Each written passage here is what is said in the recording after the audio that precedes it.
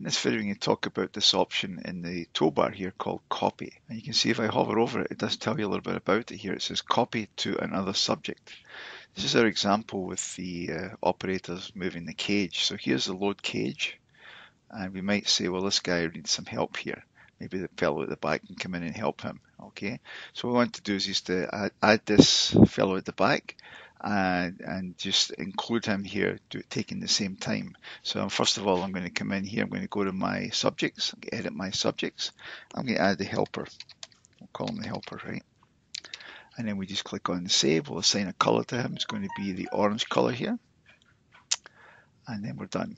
So what I want to do is add the helper here, this observation here. So what I do is I highlight the, the transaction, load cage here. I go to the copy here. And what it will do, it will bring up the other subjects that are available in the study. If you've only got one subject, it's, only, it's going to tell you you need two subjects to be able to assign work to the other person here. So in my case, you can see operator one, two, three, four are here, and then we've added the helper. So one, two, three, four, and the helper are here.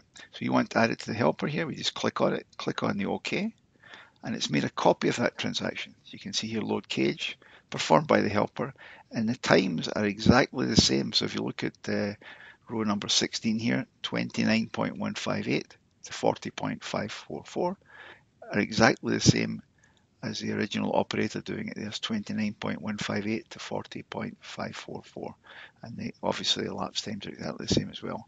So if you want to copy a particular activity uh, to another operator rather than timing it again or maybe adding a new operator like I did here, use this copy up here, copy to another subject.